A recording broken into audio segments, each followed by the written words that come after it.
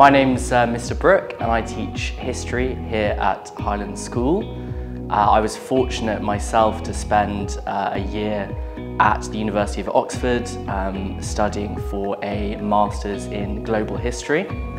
Um, and I think that the sixth form here at Highlands, um, we're really trying to uh, improve our Oxbridge programme uh, and make sure that students uh, who want to apply to Oxbridge are well supported uh, in that process and I'm lucky enough to be part of, of that, uh, helping with mock interviews uh, and also with uh, personal statements.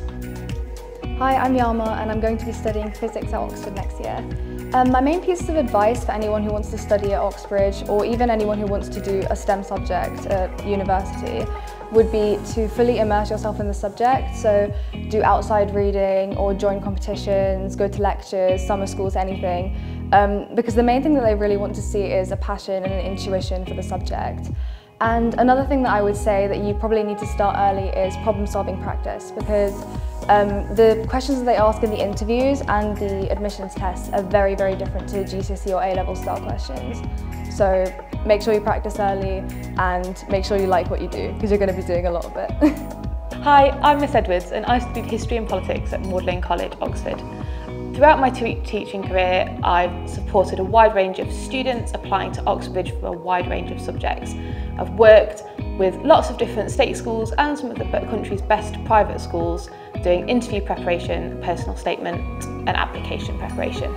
This year I've worked with one of our year 13s to do mock interviews and interview preparation for his successful application to Cambridge. And next year I hope to be supporting many more students in the same role as well as helping people with their personal statements and all of the extra reading required to make a great Oxbridge application. Hi, I'm Nick Papanikolaou. I have an offer to study history and politics at the University of Cambridge. If you're interested in going to Oxbridge, the best thing I can recommend is to read as much as you can. Um, different subjects at both universities will have reading lists on their websites, so you should have a look at them and then read what you think uh, most applies to your interests.